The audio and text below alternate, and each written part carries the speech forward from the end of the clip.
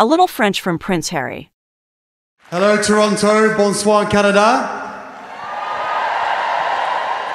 Merci beaucoup pour euh, votre euh, hospitalité. Again. Hello, Toronto. Bonsoir, Canada. Merci beaucoup pour euh, votre euh, hospitalité. He looks so excited and amazed. How can you not love Harry? He's probably one of the coolest people. myself and my wife and our little bump.